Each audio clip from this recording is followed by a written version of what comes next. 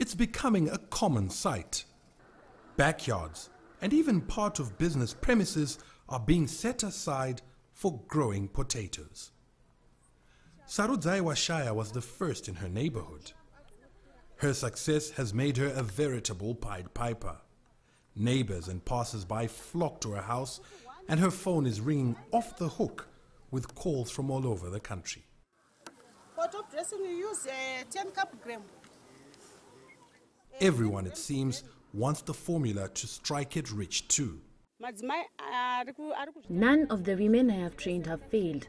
After their first taste of the money from potatoes, they always come back for more.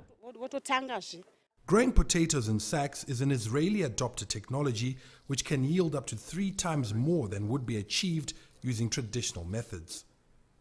It also lends itself well to crammed urban areas. There are 520 sacks of potatoes here. The ladies behind me expect that each will yield about 20 kilograms, which will give them 10,400 kilograms.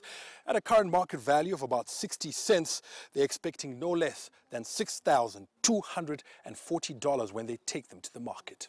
The returns dwarf those from traditional small enterprises. Former vendors have abandoned their stalls and jumped onto the bandwagon. Inini ka ndokutanga kuri I have never done any agriculture before. It's my first attempt at farming.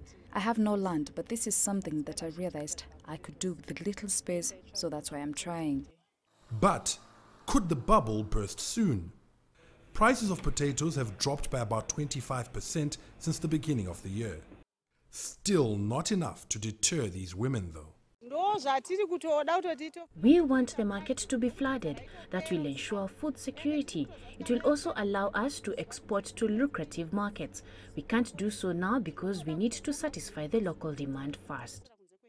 Big dreams for these potato entrepreneurs who clearly believe they have found in these sacks their diamonds in the dirt. Farai Mwakutuya, CCTV, Harare, Zimbabwe.